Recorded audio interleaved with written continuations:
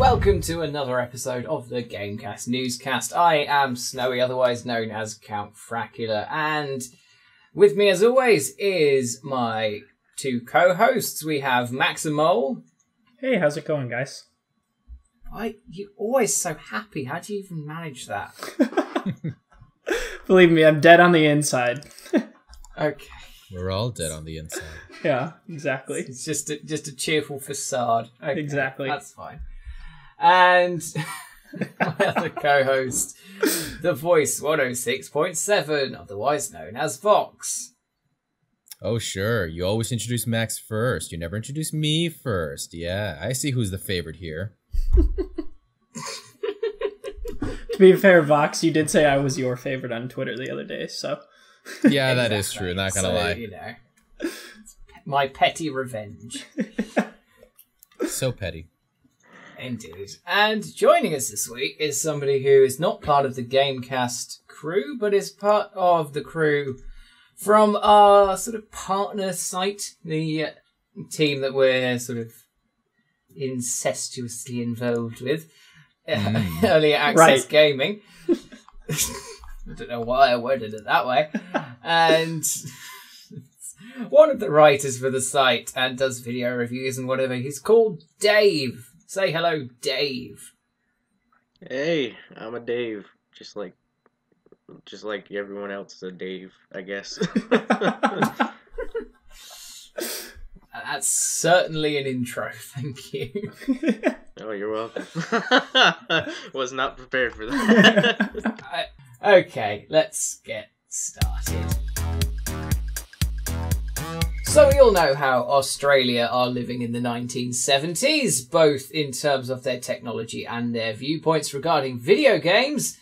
And that was made very clear a few years ago when South Park The Stick of Truth was released over there, but had to have several sort of cuts made to it in terms of content and was replaced in a rather stupid manner with a crying panda and a description of what happened during those scenes. Which is Personally, I strange. think that's genius. I, think, that's it's pretty genius. freaking hilarious. It's quite Yeah. weird, let's be honest. No, it's very weird, but it's funny. I mean, I mean, Australia is the place where fun and happiness goes to die. So the fact that they did that as a sort of, you know, ironic twist, perhaps, just makes it all the more hilarious. Remember, the person who made this thing is Australian. oh yeah, no, definitely, definitely. He can Oh. fire us at any point. Right. I forgot. Sully, if you're listening, I love you. So yeah, the the Stick of Truth was released with a lot of sort of censorship and edits just to make sure that it actually got released in Australia. And in what might be a sign of Australia actually growing up, uh, South Park, the Fractured But Whole, which is quite a funny name, will be getting an R18 plus release in Australia that will have no cuts at all. I don't know. Do you think that means that it's not as bad as the first one in terms of vulgarity, or do you think they hit it better, or what? That's pretty freaking weird, in my opinion. Because I would imagine the second the one's just going to be a lot worse. whole. It's not. It can't be better. Surely. I mean, true, true, true. But I'm just, I'd be very surprised because they even it even says in the article that Outlast Two was uh, denied earlier this year, and I played that game, and I don't think it was that like grotesque and surreal compared to a lot of like it was still pretty out there, but I don't think anything in there is worse than anything in a South Park game. You know what I mean? We must remember, Australia seems to be governed by a bunch of crotchety old men who think that the very idea of video games is somehow corrupting the children, even though there's a reason that rating systems exist. Well, I mean, let's be honest, rating systems don't really do much nowadays. No, they no, don't, no, they because don't. parents are stupid enough to buy 18 rated games for their children and then fucking complain about it. It's like, Exactly. ah, there's loads of killing in this Call of Duty game. I bought it for my nine year old. What the fuck were you expecting? I think we can all agree that uh, Count does a wonderful crotchety old lady. Oh, I think this has been Yes. known. Oh, if, Yeah. if she buys me dinner first, then yes. Okay, then I'm leaving. Goodbye, everybody. Yeah, the the whole thing about Outlast Two, I don't know. It ma- makes it sort of like, are they growing up? But at the same time, a senator in the Australian government told it like made a statement and literally just said, "quote Leave gamers alone." Wait for Um, this one. just uh, for out, and it was in the wake of Yeah. Outlast Two Oh, okay. because they Oh, were yeah, just like, that. Because he was just like, "This is getting silly." Yeah, that is Because pretty ridiculous. Like the amount of game, like it's what was it, Hotline Miami, or was it Hotline Miami Two? One of them was just completely like, no, you can't release that. Ah. I, I really, you can't do it. I don't get. The thing is, like, was Resident Evil Seven released in Australia with no cuts? If it not was, then that shows a complete lack of any sort of understanding on the, on the part of Nope, it's um, released in Australia. yeah. Yeah, so it doesn't look like uh, it got censored. And if if I remember correct, in Resident Evil Seven, there is a point where you find the beheaded corpse of a policeman friend that you made, and you have to plunge Yes. your fist down the guy's throat while his like decapitated corpse is quivering, and then Um. you pull out a key. That's Yes, apparently correct. fine, but some of the stuff in South Park, The Stick of Truth, wasn't, and some of the stuff in Outlast 2 wasn't. See, that's Go my thing. Outlast 2 is fucking basically a bunch of stuff like that. Not even as grotesque as that. That sounds worse than anything in Outlast 2. Exactly, that's what I mean. It's like Resident Evil 7 is, by all accounts, a horrifying game, and yet that was released with no cuts, but Outlast 2 was denied release. South Park The Stick of Truth had to be edited. Hotline Miami 2 was denied a release. I don't understand Australia's government. I think it's the fact that some of these games, for example, Outlast and Resident Evil, border more on the realistic side. I mean, you look at their graphics; they tr- they border more on realism, while um, while Fractured But Whole. I mean, the the South Park series and even the Hotline Miami one looks a little cartoonish. So maybe it's something to do with kids seeing this game and being like, "Oh, it's a cartoon. This is okay. Let's stick sticks up people's asses." that type of stuff. I guess yeah, that's interesting too because um Outlast 2 and Resident Evil 7, they kind of have a reason. Like they're still trying to tell a horrific story and stuff and they kind of have reasoning behind what is going on there whereas South Park seems to be offensive just for the sake of being offensive at times, or at least it can come off that way. But I guess that still doesn't really explain why Outlast 2 was banned there and not South Park. Like maybe that is maybe that could be a case for them growing up in this case or maybe they really are just leaving gamers alone in this case you know what i mean Yeah, or maybe they're just wildly inconsistent old men. Maybe they've got like dementia or something, and they just keep forgetting that they that they hate games. Well, one of the we, other let- reasons we allowed that? we allowed that? Uh, one of one of the other reasons Outlast 2 might have not gotten a rating is I, I don't know, correct me if I'm wrong, but isn't Australia still very much I don't know, steeped in religious stuff? And Outlast 2 had a lot of religious true. undertones. So I have true. no clue how deep in religion Australia is.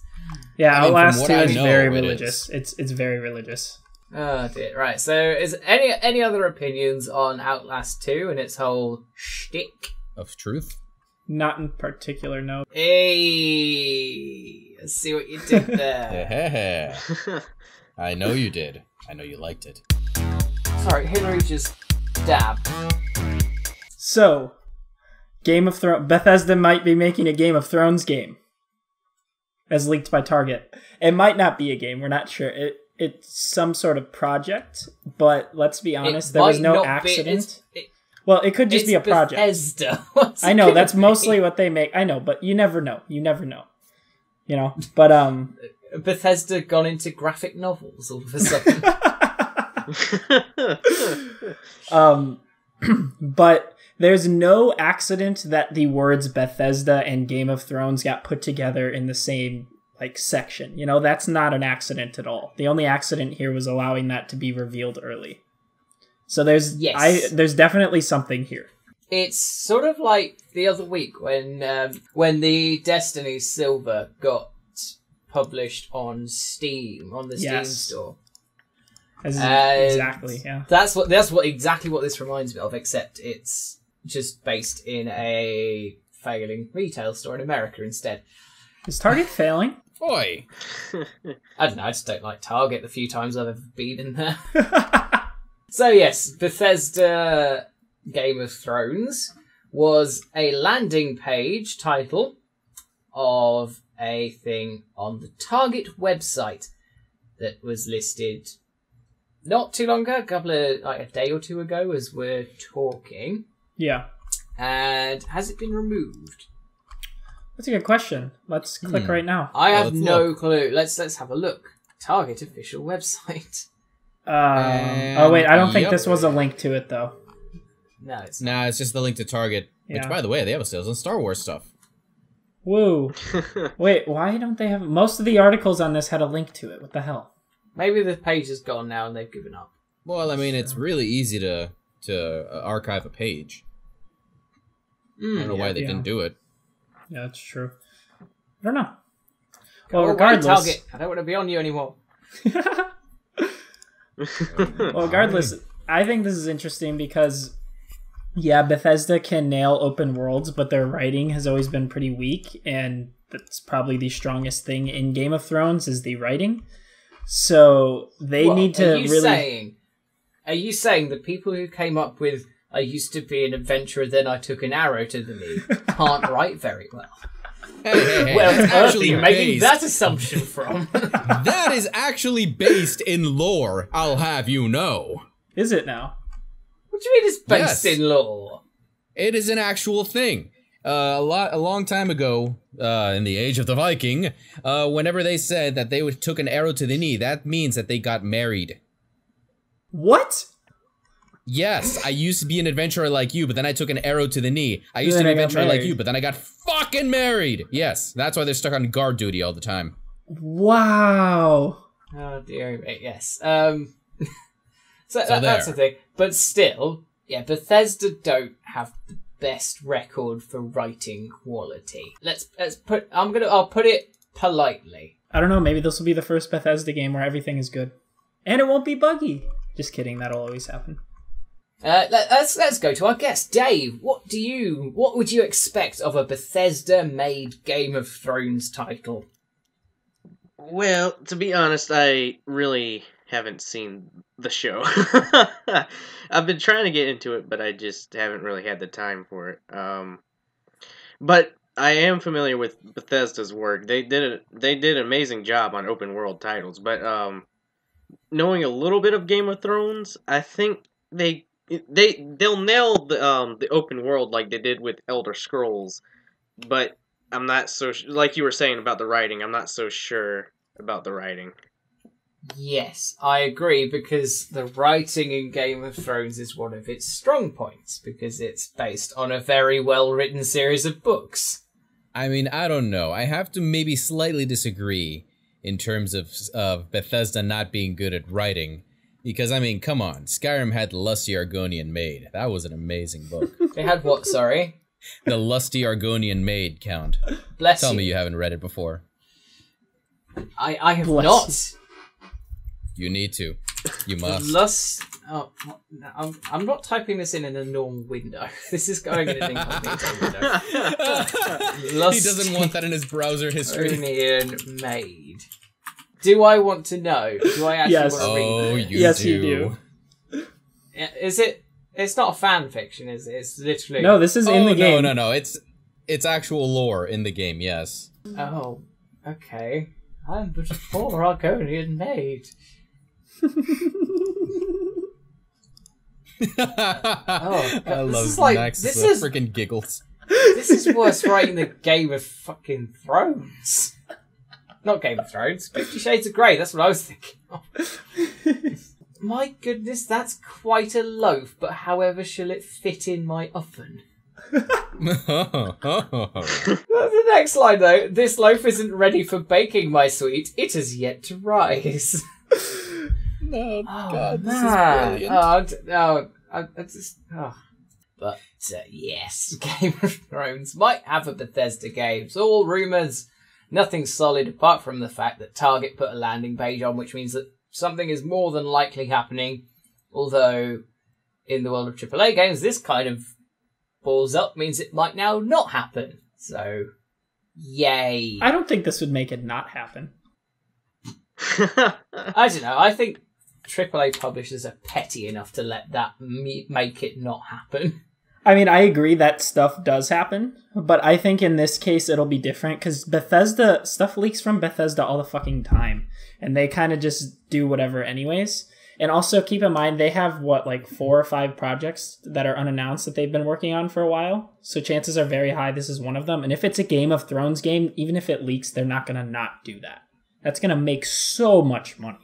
Yes, although I will say there was a Game of Thrones game launched on the PlayStation 3 in Yeah, it sucked. 2012 By we talk about that one. that Yeah. had a critical paddling.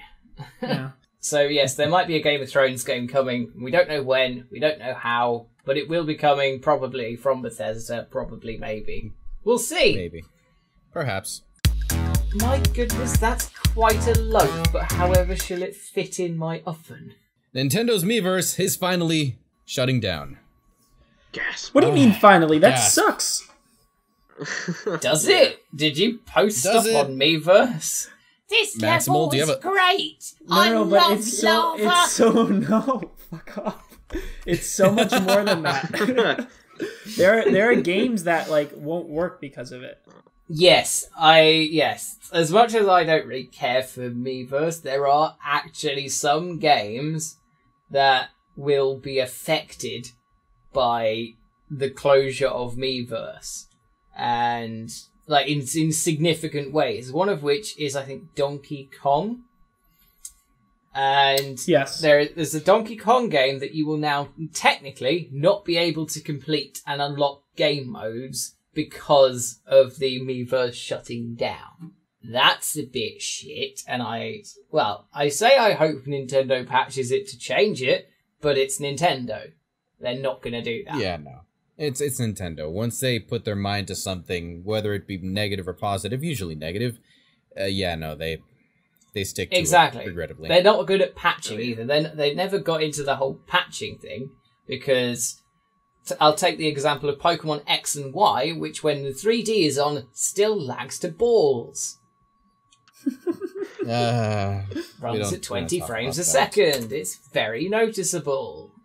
Miiverse is very intricately tied to the Wii U and 3DS systems, which, I mean, shutting down something like that, I do agree, it's going to have really, really bad repercussions among a lot of the fan base. Especially if what you say is true, Count, that there are certain levels that won't be able to be completed for this Donkey Kong game. Yeah, no, very much a dick move, because now you're essentially locking players out of content that they paid for. Exactly. It makes it makes more sense if it's literally just a business decision because nobody uses the service anymore. And like they don't do anything gameplay wise, it's literally just for the I love lava messages. But um, it's not. There is genuine re- like there's genuine features of certain games that you can't that you won't be able to access anymore, which is a bit shit. And yeah, I don't like that. The official shutdown is supposed to be happening worldwide on all platforms November the 10th, 10 p.m. Pacific time. If you want That's to be. soon.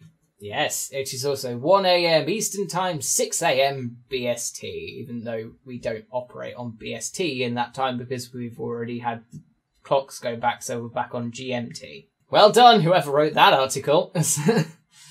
I think this is because they're still trying to push everyone to the Switch. yes, I Oh, yeah. agree. And I don't Definitely. blame them because the Switch is a much better platform. Realistically. amazing. I have one now. Yes. Although, uh, we must remember that Nintendo will start charging for their online service next year. Yes. She's a dick move. Which I mean, I let it's it is it is a dick move, but it's not at the same time. If have you're to going to tell remember- me that e- it's only four dollars a month and that makes it fine, you're wrong. here's the thing: Xbox has been doing that for how many years? What that doesn't make it better. I mean, they're just following a business model that's already pre-established. Yeah, but everyone yes, hates that business model. Everyone hates Xbox Live for that reason. I feel like people have gotten used to it. I don't even know if Yeah. hates is even. A, you can't even say hates. I anymore. hate it. I don't. I refuse to get Xbox Live. You. Or You refuse to get it, yes. which I- I, don't And this- disagree You with sound- necessarily. and this is how the news it's team falls apart. I don't want Xbox Live. I don't want to have to pay more to access online services when I'm already paying for the fucking internet to do so. Because I can do it on my PC for fucking free. Dave, you- you're witnessing the uh, the fall of the news team. I remember a couple years ago when Nintendo was, you know, nobody really. I mean, people cared for them, but they weren't like, you know, um, to the point where it was like Xbox versus Nintendo, Xbox, uh, Nintendo versus Sony, and you know all this other stuff. And a lot of people were wanting Nintendo to catch up with what Sony and X and Microsoft were doing with their systems. And now that they've done it, people are saying, no, no, no, no, no, don't do this. No, so I find it funny. the thing is, we're not saying don't do it. We're just saying don't do it in the wa- like don't make the same mistakes that they made. Like have an online service, great. That's a really good idea. However, Yes. the things they've done different are terrible. The headset thing and the things they've done the same, the paying thing, are annoying.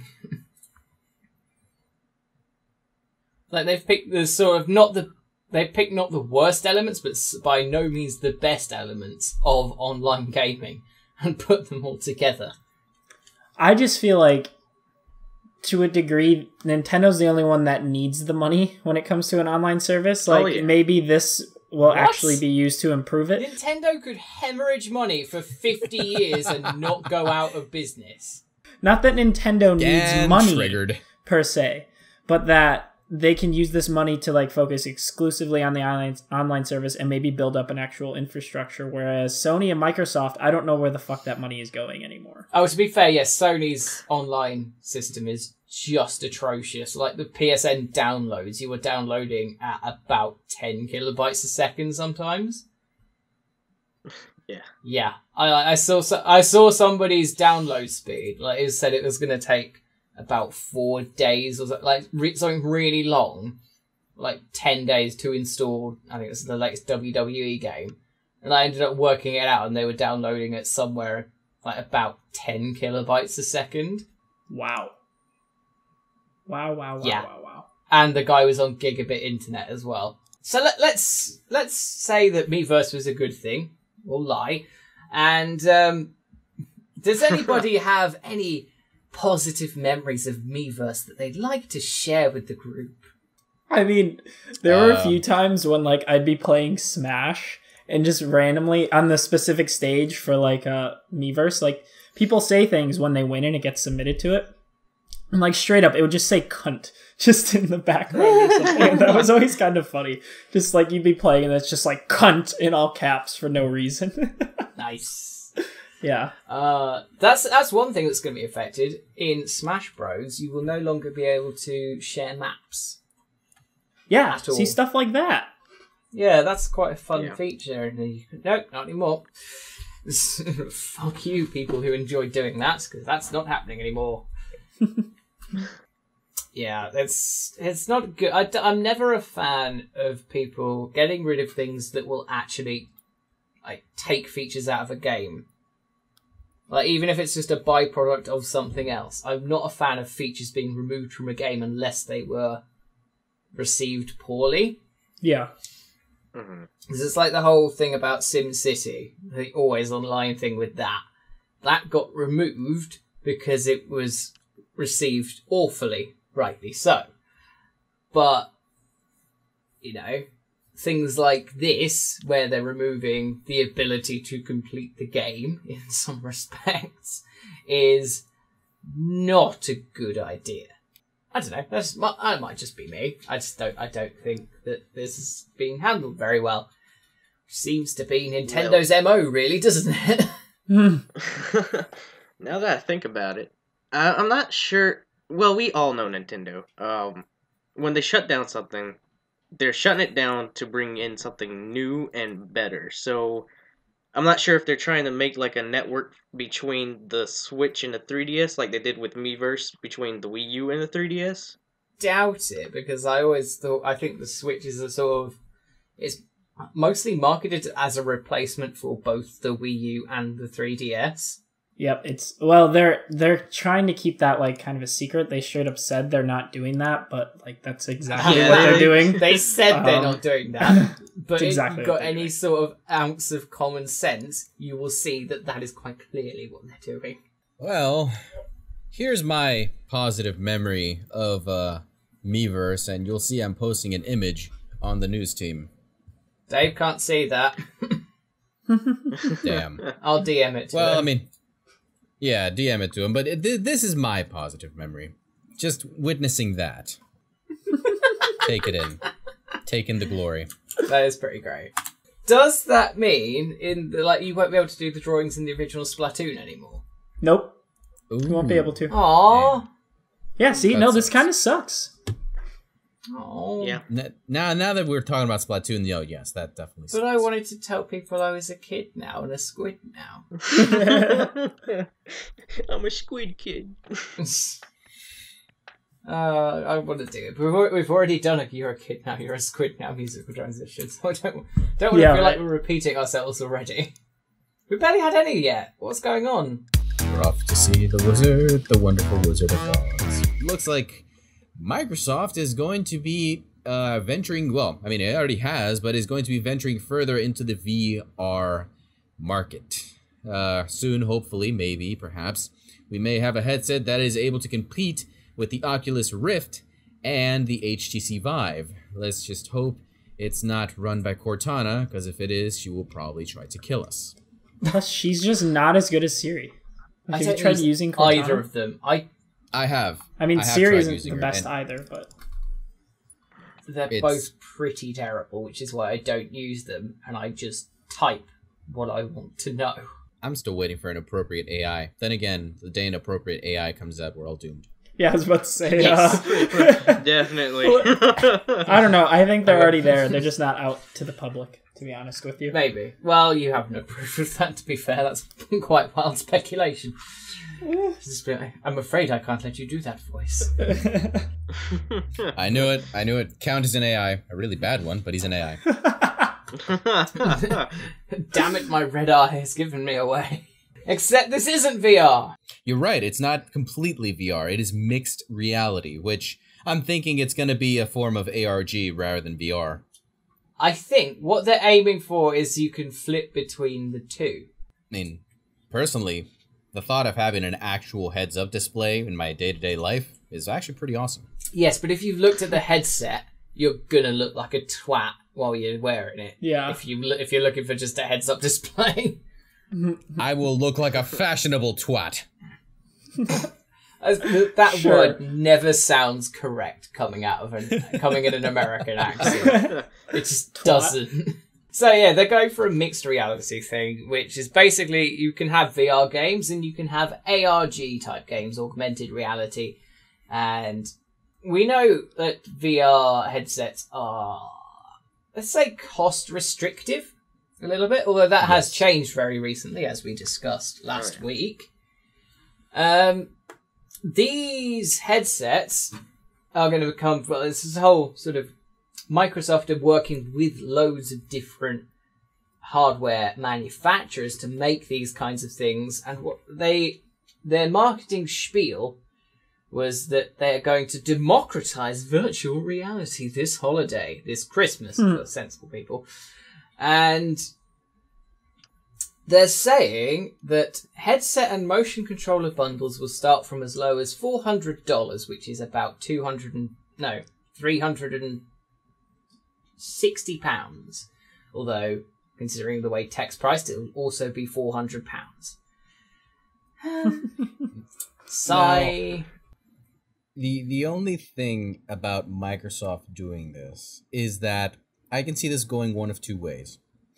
Because they are coming late into the game, their soft their hardware might actually be more advanced than the HTC Vive and the Oculus combined, or the other route they can take is they're going to screw it up royally. The thing is, it could end up like that, but the fact is, it's being done by loads of different manufacturers. So HP are coming up with one, and Lenovo are coming up with one. So are Dell, and so are Acer. And where did that yes come from? Also, this is a plug and play. Is it? Yes, it's a plug and play, Oh wow! so you can bring it around with you. Hmm. Well, actually, that. Well, Well, I here's, say cool. here's another. Yeah, it is cool, but here's another question. Okay, so it's not a full VR headset; it's mixed reality. So is it not going to need all that? Um, you know how the HTC has those little cubes that track your movement. Is it going to be yes, like that? that- this is one of the things that they were talking about when like I'm I'm reading the Windows press statement. They they're talking about how they have a cumbersome setup procedure and all this kind of stuff. That's so they're saying the Windows mixed reality headsets coming this holiday will be first to deliver VR experiences with built-in sensors to track your physical position without requiring you to purchase and install external sensors in your room. You don't need to spend hours to set up a single room in your house with a large play space, just plug and play. It also means these experiences are portable. Uh, whether you're traveling f- for work or visiting friends and family, just pack your PC and headset and you can share the magic of mixed reality. So you do still need a PC. Yes. So that means it's still going to be a slight pain for me because of the way my house is laid out. But Not necessarily. Not Well- necessarily. Uh, there are. I mean, there. There. I think they did. I'm not know sure if it was Oculus that came out with a system that was completely portable. It was like this backpack thing that had the PC built into the backpack, and so a lot of the. yeah, I remember that. yeah, a lot of the- it was. it did come out, but I just I'm not sure it was successful. So Mm. maybe Microsoft could be hinting at something similar. They could do that And in the that's the- future, but I don't think that's what they're aiming for right now. Yeah, I mean, I personally, if they did this in the future and you had a true VR slash AR experience, that that could cause some waves. That would be That could. interesting. I do think that because of the way that things like laptops are getting better and better, I think in sort of five years' time, a mid-range laptop will be able to run VR games semi decently. So that means in a few years' time, VR will be very, very portable indeed, especially with these sort of like the way these sensors are apparently going. Definitely. I think that's the goal. But Dave, well, how do you feel about this? I mean, what how do you feel about D- VR technology in general? Um, I feel that it's to me, it's a little, it's a little ahead of its time. That's what I feel. How Interesting. so? Like, you think through? Do you do you think we're going too fast, or I feel like we are progressing too fast for virtual reality because yes, it's it's cool and all, but I'd rather much have a virtual reality headset that can track my movement and you know track the surroundings around me to come to transform this world into an augmented reality ro- world. You mean kind of like Hmm. what the Kinect was supposed to do, like a blend between Some- the something Kinect like and a that, VR but- headset? Yeah, I I just I don't. I'm I'm weird about VR. I like it, but I feel it's a, it's we're working for something that's way ahead of our time. Interesting. Okay. that is okay? Yeah, that's a good. That's an interesting point of view. Um, Max, how about you? How do you feel about all this? I mean, I think VR is great. I think that we're actually in a pretty good time for it. I was just I remember just being I was thinking that before the headsets launched, but then I remember when like the Oculus launched and the Vive launched and everything and everyone was just kind of like holy shit, like it, it's here. There's no software yet, but It's like happening. it's it, it, it's working and it's not bad. Like what the hell? You know what I mean? Um Mhm.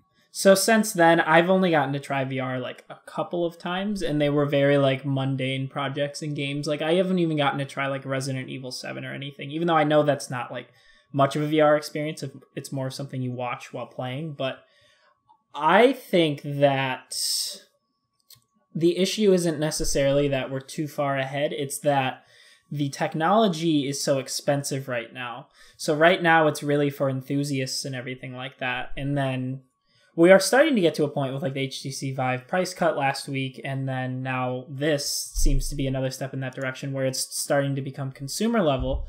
But when it comes to mixed reality, I'm still not 100% sure what this like is.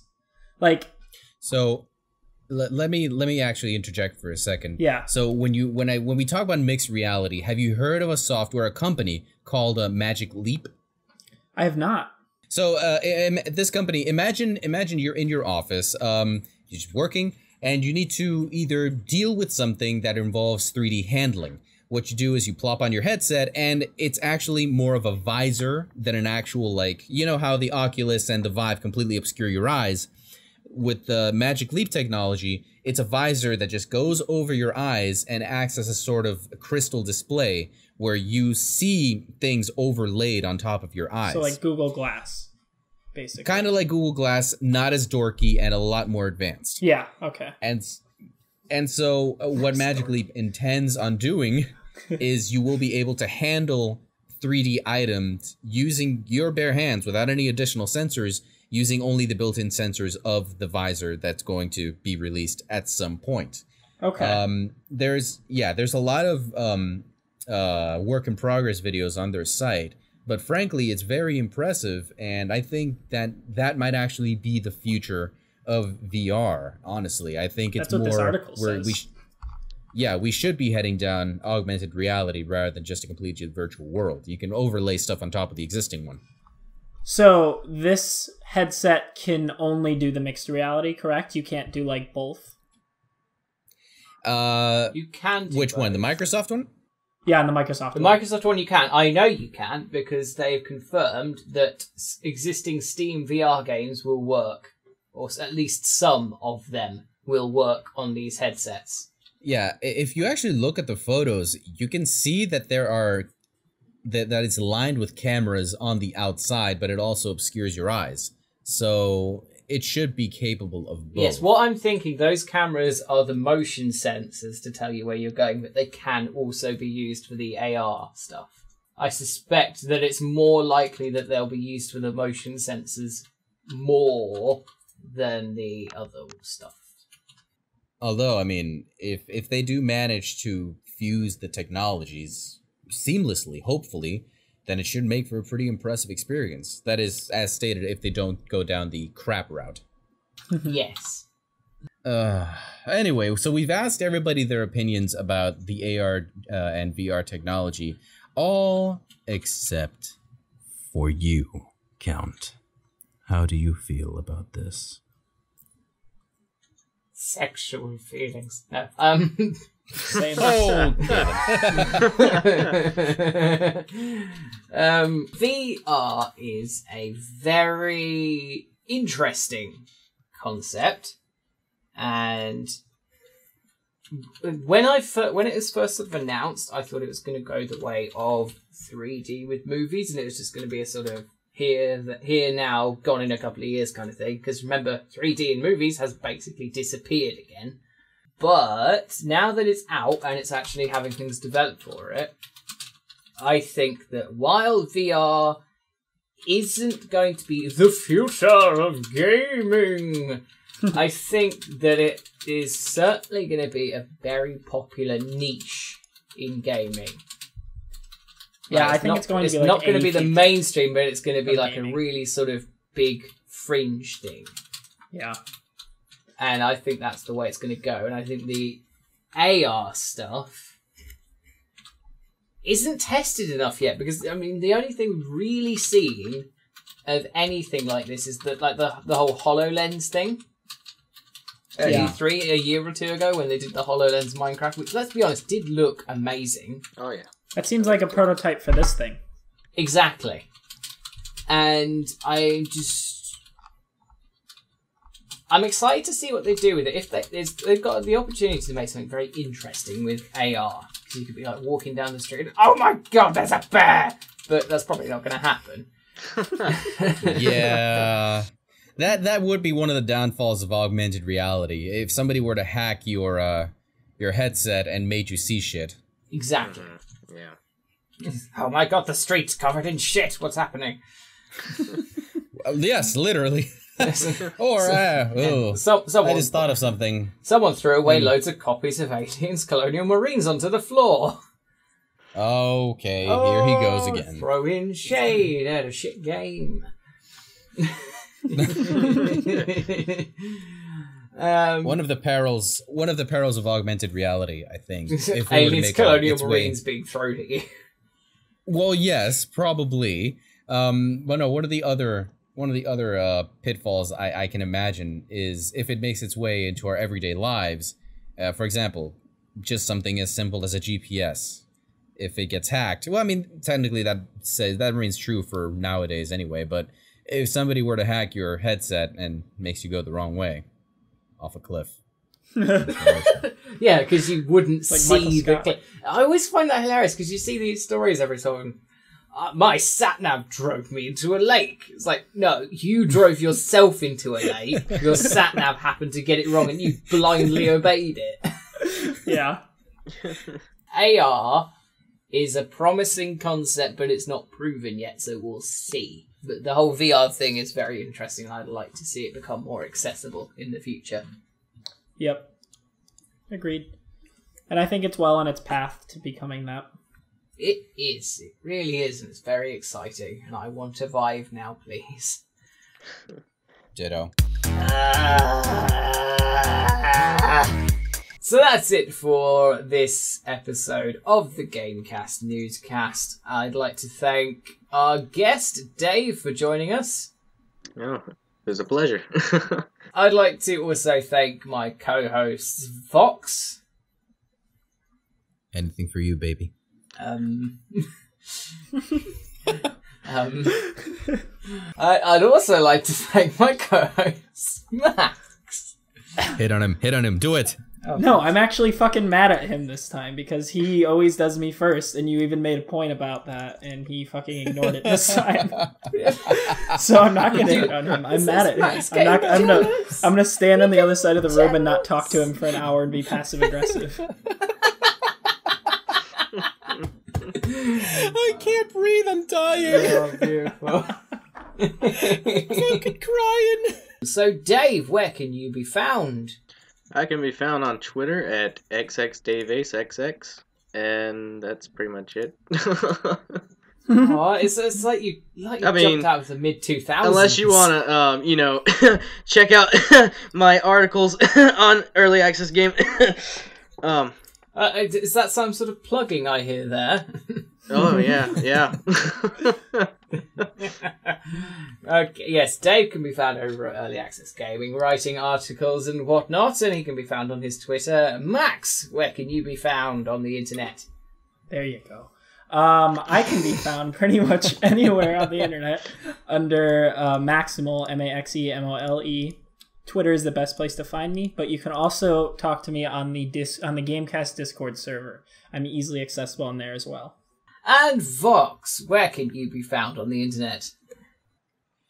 Oh boy, where can I be found? You can find me on YouTube at The Voice 106.7. You can also find me on Twitter at The Voice 106 underscore 7. You can find me on VidMe at The Voice 106.7. You can find me on the Discord, usually here with the news team. I'm being held hostage against my will. Please, somebody save me. This is not a joke. Um, you can also find me now on uh, Steemit, uh, this little uh magnet chain block thingy. It's an experimental thing. It's an up and coming new video platform. I don't know. You can also find me there, maybe somehow. The thing's barely functional, but hopefully it'll work someday. You're really sad. Oh, yeah, that's where you can find me. I know, I, I am. I'm, I'm amazing at this. Yeah. Definitely. And finally, me. I can be found. I'm not even going to publicize my YouTube channel at the moment because there's no point. And I can be found on Twitch at Metal Nerd Dude. I can be found on Twitter at Snowy Duffield. I can be found on the Gamecast Discord and just doing the news on Gamecast. And that's pretty much it, I think. That's where we can all be found. And yes, I hope you all enjoyed listening, watching to this Gamecast newscast. And we will hopefully see you next time for some more rambly, rambly news. So say goodbye, oh, everybody. Goodbye. Bye, everybody.